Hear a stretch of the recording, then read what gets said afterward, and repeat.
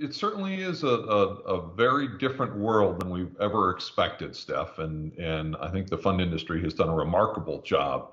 And part of that job has really been the engagement with their vendor uh, partners to ensure that the uh, operations and the services that are provided to shareholders have continued basically seamlessly, even though people are no longer in their offices. They always say what uh, poor planning on your part is not an emergency on mine. In this case, it's all of that great planning that you guys always do day in and day out is helping make an emergency manageable. It is. It is. And it's really critical for the, the fund industry to maintain that connection with those vendors because that that ability to interact and that ability to maintain those services are really the backbone of how the funds have performed and provided services to their shareholders. As we talk ourselves remotely and we communicate uh, by all this new technology that we weren't that familiar with until five weeks ago, it really reminds you as well that so much of our business, as they've always said, is about people.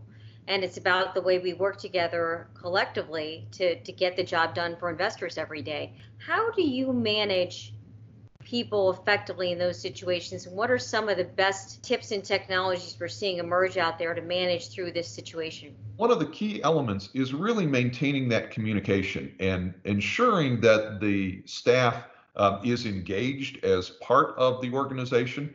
And members have really focused on staff well being, which is critical. So members have really gone out of their way to create an environment where they are in regular contact and put the tools in place for the staff members to be able to engage with their managers, with their uh, colleagues, and uh, to the extent that they need to with their vendor partners and certainly with shareholders. You know, they always say in life there's no dress rehearsal. There was no dress rehearsal for this. So, as you think about any other key takeaways for the industry at large from what has been really quite a flip in the way we do business over the past month? I think the real key has been the uh, flexibility and the resilience of the industry.